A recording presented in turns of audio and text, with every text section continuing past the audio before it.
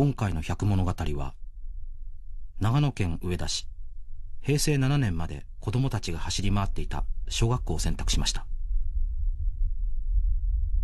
たくさんの子供たちの思い出の詰まった校舎の中を散策すると改めていろんな空間があるんだなと感じました。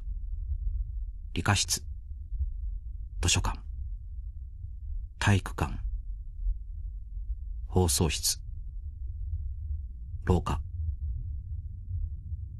そして子供たちが勉強を学んだ教室。かつての子供たちの笑い声が今にもすぐにでも響きそうな空間。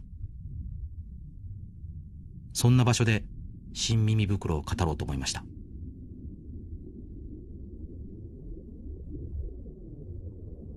一晩で百の怪異を語る。百物語というのは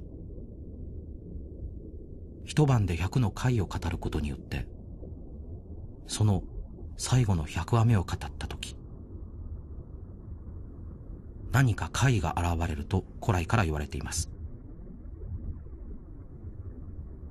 今宵女優の三輪ひとみさんを迎えて果たして最後の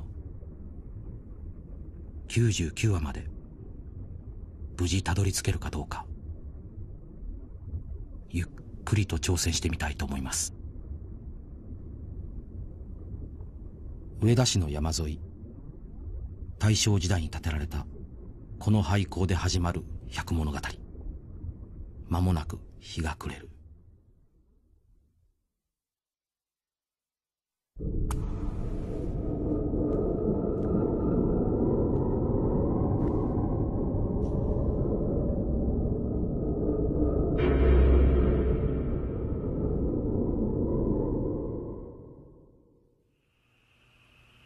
輪さんのお住まいはマンションですか？はい。エレベーターはついていますか？はい。ではエレベーターの話をしましょう。三輪さんのマンションのエレベーターはひょっとして四角い窓が開いてませんか？開いてます。同じように四角い窓の開いてあるエレベーターの話です。はいあるお父さんがね単身赴任で長い間一人暮らしをしてたんですよ。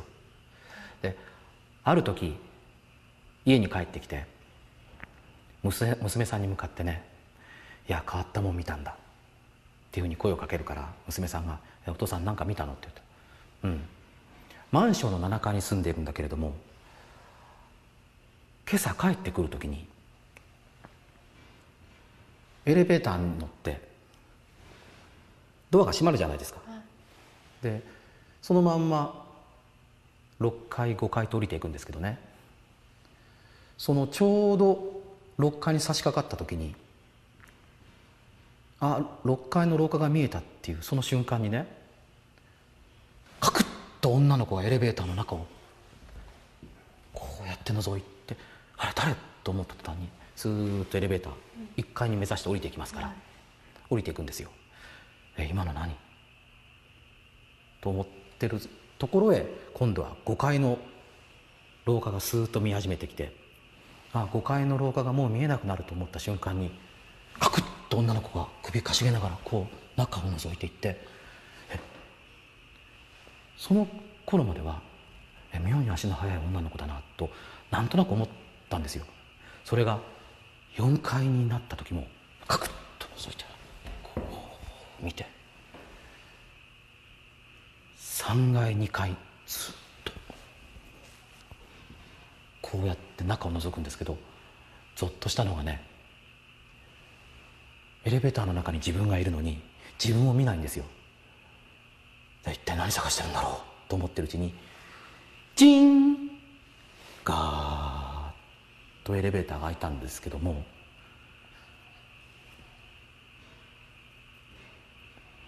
さすがに1階だからエレベーターには誰も覗く首なんかないじゃないですか。止まったから。出れなかったって。えどうしてお父さん出れなかったの？いやだって1階に首のない女の子がこうやって待ってたら怖いじゃないか。っていう話をしてね。お父さんそんなの朝見てきたの？見てきたっていう。いやでも勘違いでしょそれ。そんなの。見たことないって言ったらいや勘違いじゃないと思う。どうしていや単身赴任中に今日見たのが3回目だから。というお話です。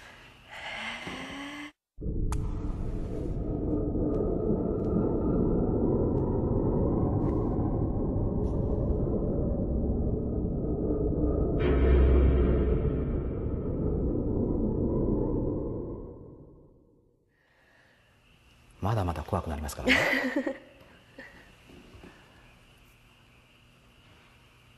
あるテレビクルーがねあのテレビ番組の取材で、あの山道を走っていた時なんですよ。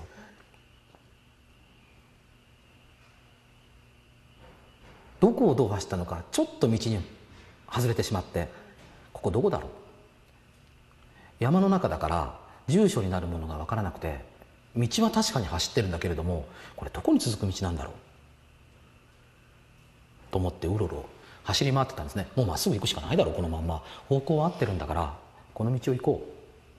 ずっと走ってると向こうの方から赤い棒のようなものがゆらゆらゆらゆら揺れてるんですよ。なんだろうあれ。っていうんで車がどんどん近づいていくと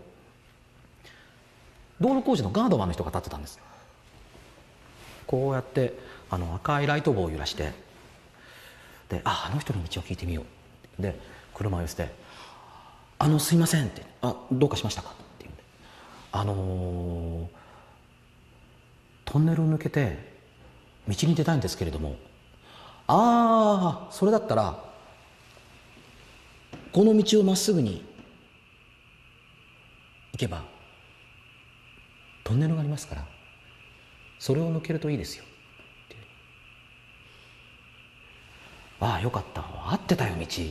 ああよかったよあありがとうございました。いえいえ。お気をつけて。あじゃあ行こう。っていうふーっと言って。ああ本当だトンネルが見えてきたっていうふうに。うん。あ本当だトンネル見えてきた。よかったよかった。あ確かあの地図で行くとこのトンネルを抜けたらあの道に出るからっていうんでなんかずーっと走っていって「俺大丈夫か？こんなトンネルだっけ?」っていうふうに「旧道と振動があるって書いてあるぜ旧道じゃないのか?」トンネルにね暴走族が書いてある落書きだとかパーッと書いてあるので本当にこれ使ってるトンネルなのか真っ暗じゃないか？っていうふうに言ってものの2 3 0メートルも走るか走らないかのうちにきっと車止めていけないよ看板だとか鉄パイプだとかがあの道の前を塞いでいて通れなくなってるんですよなんだ旧道じゃないかっていうねいい加減なこと教えてっていうに。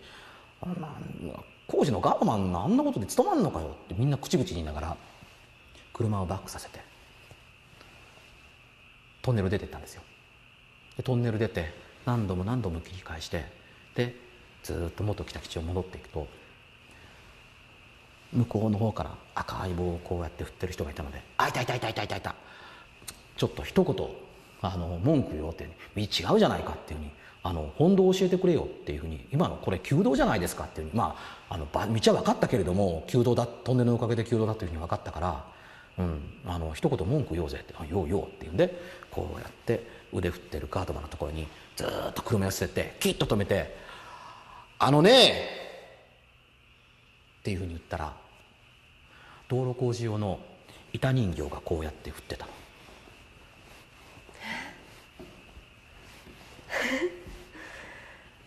人じゃなかった。私車運転するんですよ。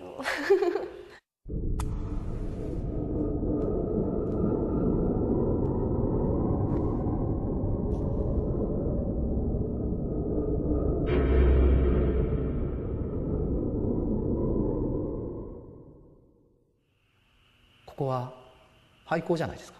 はい。元人が使っていて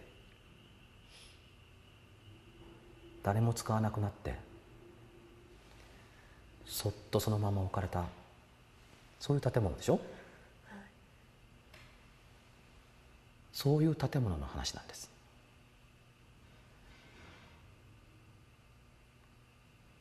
大阪に住んでいるねある高校生が親と大喧嘩した挙句に家を飛び出したんですね。家出をしたんですよ、うん、でどうしても家に帰りたくないから友達の家を渡り歩いたりだとかどっかの空き家を見つけたらそこで寝泊まりするっていうことをずっとやっていてでも働いてるわけでもなかったから働くのも嫌だし家からそんなに離れてないところを転々と回って時々家に帰っては家からお金をちょっと取ったりだとかっていうことをやりながら2年ほど家に帰らなかったんですよ。で2年も家に帰らなかったから高校の学籍もなくなってしまってさすがにここまで来るともう帰るに帰れなくなっちゃったんですね。そうやりながらなんとなく暮らしてるうちに同じように家出してる女の子と出会ってあの一緒に行動するようになったんですよ。で一人の時には気軽でよかったけれどもさすがに二人ともなるとあのそう簡単に泊まれるところはないからっていうのであのもういい加減にこう友達の家転々するのやめてなんかちょっとなんか2人で暮らせるところないだろうかと言っても働いてるわけでもないし家出状態だからあの持ち物もそんなに大してないから、うん、時々その男の子が家に帰ってちょっとちょろまかしてくるバレない程度にちょろまかしてくるお金かなんかでやっと持ってるだけだから何かいい場所はないかな何かいい場所はないのかなっていうふうに探してるうちにこの学校のように使われなくなった会社の寮社宅を見つけるんですね。あ社宅がある。あこりゃいいやってそんなに町から離れてなくてほんの300メートルも走っていけばコンビニもあるしあここがいいやっていうんでそこに住み着くんですよ。でまず住み着くためにその状態のいい部屋を探そう。ガチャガチャ。鍵がかかってたら入れないからまあしょうがないから諦めるか。で鍵をガチャッ。開いてる。中見て窓が割れててあの雨水が入ってくるようでは暮らせないから。そういう家を一軒一軒見てるうちにあこれはいいねっていう家を見つけたんですよ。ガチャあここ割れてないしっていう。でも畳はもう埃でいっぱいだからあのお尻の砂を外してこうやって引いてでまあその上であの寝泊まりしようっていうことに、でそれでもね人に見つかったら困るからあの廃屋に明かりがついてたら人が調べに来るでしょ。お巡りさんで来るかもわからないから、うん、だから懐中電灯だけで窓側に明かりを向けずにあの暗くなったら寝て明るくなったら起きるっていう暮らしをしばらくしたんですけどもいくらなんでもあの本当に暮らせるところじゃないから水の不便も悪いしあのトイレだってちゃんと水が流れてるわけじゃないから生活習もしてきてもうそろそろ部屋変えない？っていうふうに女の子は言い出すんですね。まあもっともの話です、うん、あの時期は夏近かったのでもう蒸して蒸してしょうがないから同じところに居続けるのはちょっとしんどい。私も我慢できないやだもう変えてって言うんで、まあ、しょうがないなっていうのであのある夕方もう薄暗くなりかけた時に人に見つからないように暗くなるのちょっと待ってね、うん、また一軒一軒こうやって開けてったんですって。ガチャガチャ。ガチャガチャ。閉まってる。ガチャガチャ。開いてる。あここもガラスが割れている。ということをやりながらやってるうちにもうその社宅の中の最後の家に出たんですよ。もうここでダメだったらちょっと元の場所に戻ってちょっと考えなきゃいけないかなっていうふうに思ってた最後の家のところガチャッ。最後の家は鍵が開いてたんでいいって開けるとなんかやっぱガラスが割れていてあのああダメだった。どうしよう。困ったな。と思ってるうちにもう風がビュービュー吹き始めてあの夕立が始まったんですよ。雨がパラッパラッパラッパラあの落ち始めてきて、こうやってどうしようかね。っていうんでそのドアを閉めて。元の部屋に戻ろうよっていうふうに男の子は言いたいんだけれども女の子の気持ちを考えるとなんか即座に言い切れないから諦めて思案してるっていうようなふりをしてちょっと時間を稼いで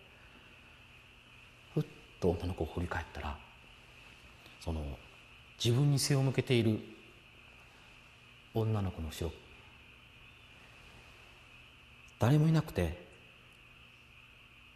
今閉めたばっかりのドアの郵便受けから白くて細い手がこうやって出てきて女の子の後ろを掴もうとしてるんですよ「おいえ？っ?」ていうふうに振り返った時にその手がさっと引っ込んだのでカタンカタカタカタカタカタって新聞受けが閉じたんですよ。その瞬間に中からガチャンガチャガチャガチャっていう音がして鍵がかかったんです。あ鍵がかかった。え誰もいなかったじゃないかと思って。でその社宅2階建てだから誰かいるんじゃないの？っていういうふうに女の子に言ったら「えなな何があった何があったの？誰かいる？な何の話?」っていうね今鍵の、鍵のかかった音がした。だから何かいるの？って分かんない。後ろ下がって2階に誰かいるか見てみないか。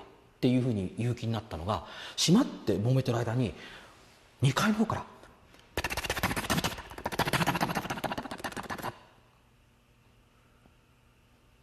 走り回る音がしてピタッと止まったんですよ。で外出てってこうやって窓の外見てみたら窓が割れていて降り始めた雨が吹き吹き込んでいるカーテンがザーッと揺れてるんですね。誰かいるんじゃないの？っていうふうに懐中電灯を照らして「誰や!」って声をかけてるところにライトをこうやって当てたら。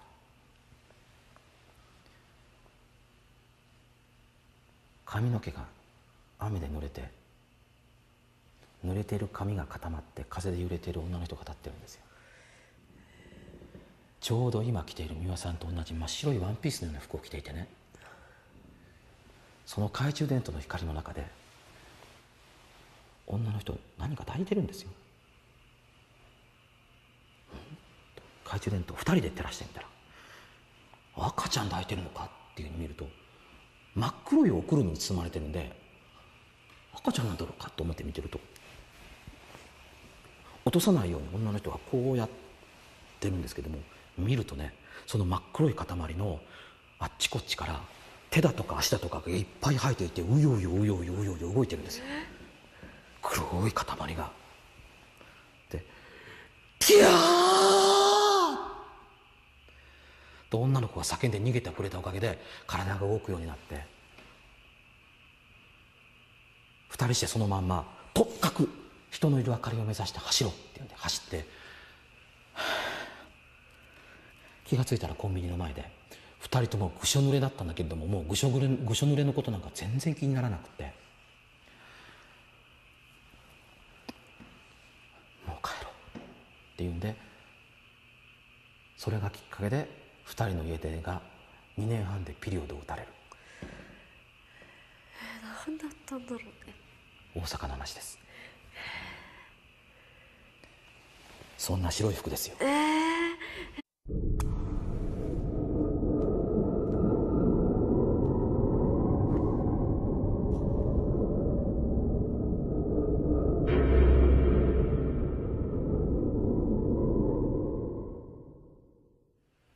材をやっていてね最も取材がしにくいのが職業にまつわる話なんですよ。硬い職業の人は変なふうに見られたら困るでしょう。それでね、えーなかなかあの取材がしにくいんですけれども、えー今回は警察官の方から聞いた。それも犯罪現場で証拠写真となる写真を撮るね。鑑識官の方から聞いた話をしましょう、警察ではね、えー事件があった時に証拠写真になるためにこう写真を撮るじゃないですか、はい。よくドラマに出てきますよね。でその方に取材した時にね、えー証拠写真は現場で撮ってるけれどもたまにどうしてもこれはちょっと上に上げるわけにはいかないっていう写真とネガをカットして処分するっていうことがあるんですって。噂には聞いていたんですけれども本当ですか？っていうふうに聞いたら「本当です」で変な話ですけども取る人と取らない人がいらっしゃるんですって。で取材をさせていただいた方は私は取る方なんですよ。例えばどんな写真撮られるんですか？ちょっと具体的には言えないんですけれども、えー、ある、えー、殺人事件の時鑑識が入ったんですって。で私がねこういろんな現場写真を撮っていてで遺体の写真をカシャカシャカシャカシャカシャカシャカシャカシャカシャカシャカシャってこう撮るわけですよね。で撮って現像した後同僚の人に「あの現場写真上がった上がった」ってちょっと上げられない写真が撮れたちょうど抜いて処分するつもりだった時にその人と出会って「また撮ったのかよ」どんなの撮ったんだ?」って。見たい。あ見たいけどそんなに念を押すような写真なのか？あちょちょ隅っこの方に行って。これ。見せられた写真のうち3枚あったんですけどもね。いいか？1枚目見ろ。1枚見てると遺体がこう寝ていて。でその指紋を取ったりする人だとか写ったりするんですよ。でその次のはこう何にもないじゃないか。うん何にもない連続写真。同じだろ？うん同じだって。連続で撮ったからねって。この真ん中の写真がまずかった。え？真ん中の写真？そう。1枚目と3枚目の間。これっていうふうに見せられた写真がね。連続で撮ってるからほとんど人の動きが変わってないんですよ。指紋をこうやって撮ってる人、うん、あの聞き込みのメモをこうやってお互いに取り合ってるっていう写真。でその真ん中に遺体が寝てるんですよ。縁取りがしてあって。真ん中の写真だけ遺体の横にねその遺体で寝てる人と同じ顔同じ服を着た人がと自分を指さしてびっくりしてるっていう写真が写ってる何これ。その写真とその写真の間って何秒も空いてないんですよ。そうですよね。コンマだ、うん、その何秒も空いてない間の一枚に今死んでいる人が死んでいる自分を指さして「俺が?」っていうような顔してびっくりしてるっていうこれは上に上げれないでしょ。という写真を。でもう一方別の方から聞いたんですけどね。同じように現場写真を撮っていて部屋の中をこう撮っていたんですって。でね現像して上がった写真の中に一枚だけ奇妙な写真があったんですよ。でそれは何かというとね部屋の中に鏡がね写ってるんですけども一枚の写真だけ鏡の中にね正面向いた人がと立ってるんですよ。鏡の中。に。その前には鑑識官もいて他のにはつまりその周りの風景と一緒に映り込んだ鑑識官が映っているだけなのに一枚だけ誰もいないのに鏡の中にそうまるで鏡が窓のように鏡の中に誰かが写ってる写真があるんですよ。あなんだこれ。死んでる人ではないんです。なんだろうな。でもこれはちょっと奇妙な写真なのでまあ抜いておいたんですよ。でやがてあのすぐにあの容疑者が何人か上がって上がった時にあっと驚いたのがその容疑者の中に容疑者の写真の中に一枚鏡に映ってる人がいるんですよ。あれ？でまあ刑事さんに「あのさこの人ちょっと注意して聞き取りやってくれないかな」って「えどうして?」いやまあなんとなくだけれどもちょっと気になることがある。何が？いやまあまあ大したこと知らないんだけどあ分かった。でまあ聞き取りはまあどうせやらなきゃいけないんだけれども、まあ、特に注意してくれと言われるんだったらじゃあ特に注意しようかっていうので、あのー聞き込みをやって「あ私にアリバイありますか。ら」メモって。それでも何度も何度も同じようにその人を訪ねていって何度も何度も訪ねてるうちにその人があ自分が疑われてるっていうのがやっぱり分かってくると怖くなったらしくて他の人は何度聞かれても「いやだから」っていうふうになるのがその人だけ表情がだんだん変わってきたのであの聞き込みやってる刑事もお互いに顔を見合わせて「こいつ何かあるな」と思ってるうちにあっさり自白したんですよ。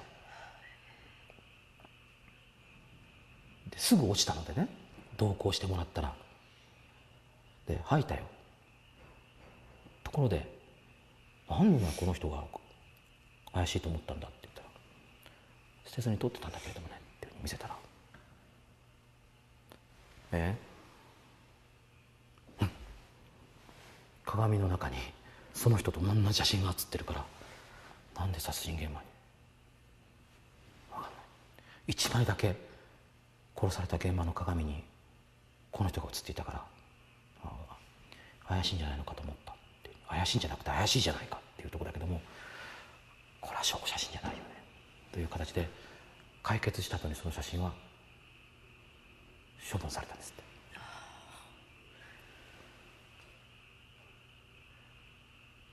抹殺された写真だから表に出ることは決してないんですけどね、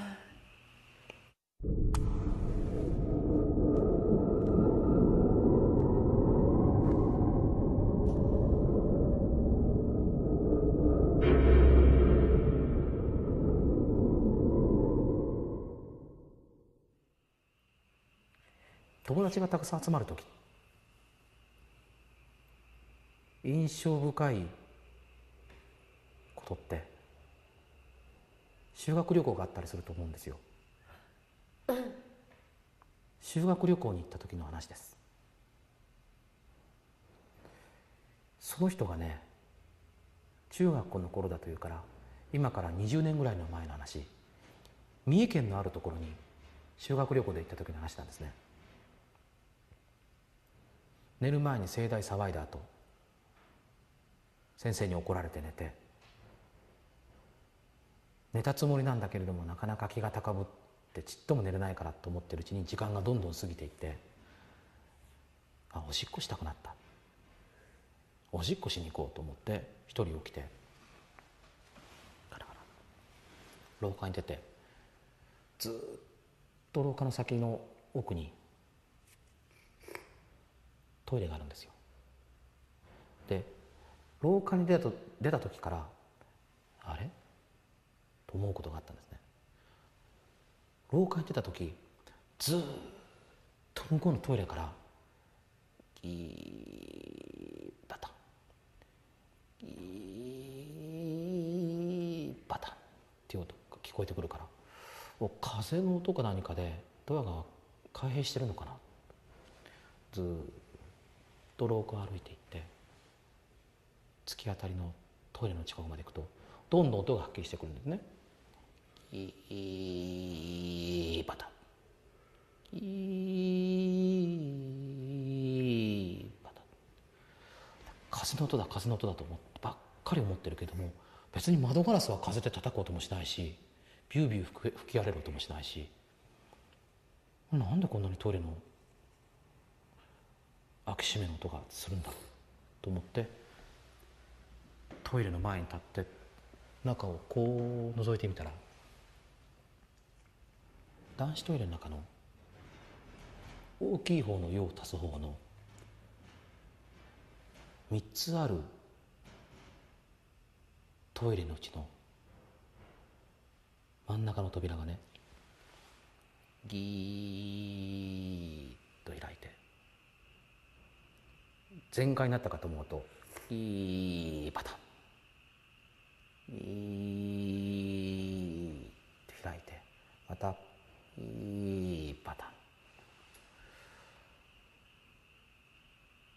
まさか自動ドアでもあるまいしなんでこんな開閉してるんだろうと思ってそれをねなんとなく匂いも忘れて眺めてると。そう。30回ぐらいの開け閉めが続いたかなと思う時にギーッと開いて扉が閉まらなくなったんですよ。あ止まった。止まったと思ったらそのトイレの中から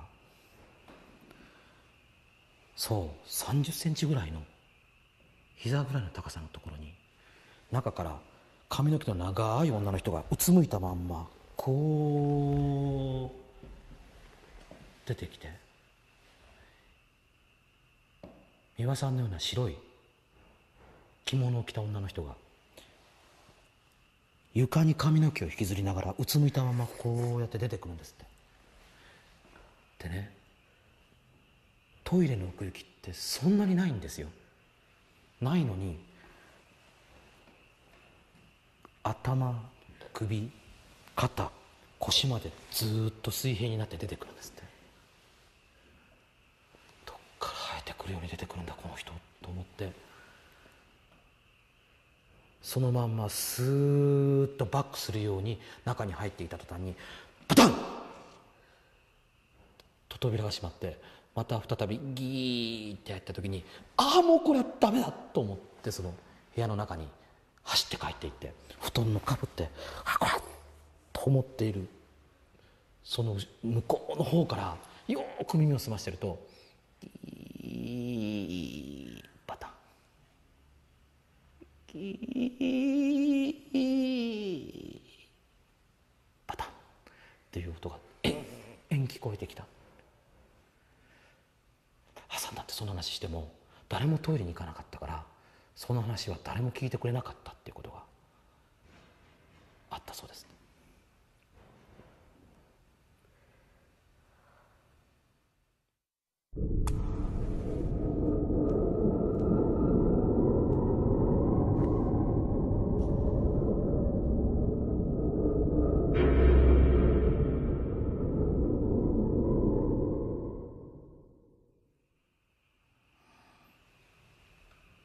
三輪さんは仲の良かったお友達を亡くしたことはありますか？